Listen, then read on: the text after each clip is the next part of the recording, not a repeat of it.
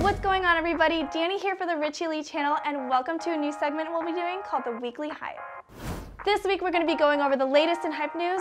Let's get right into it. The images of the highly anticipated Fear of God and Nike collaboration have appeared courtesy of the Instagram page Pirates.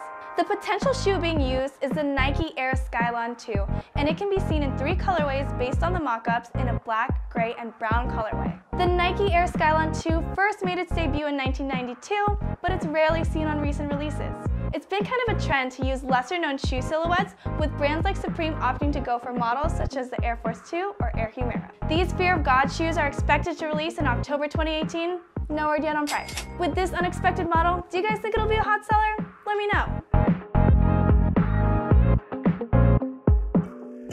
Been rumors that Drake's relationship with Nike has gone downhill, and recent pictures seems to suggest that those rumors are true. Wearing shoes like Ultra Boost, NMDs, and Kanye's Calabasas line, Drake seems pretty set to move with the German sportswear giants. Do you guys think this is a good move, or are you sad to see him leave Nike and Jordan brand? To round up the news for this week, 2018 seems to continue the success of the Jordan 1 in 2017 as the Six Rings colorway has been given a release date for early May. The six rings look slightly different in the color blocking and materials traditionally used. It features a red micro suede utilized on the swoosh and the heel. Jordan Brand seems to continue its strong string of releases which included the Shadow 1s and Tinker 3s earlier this year.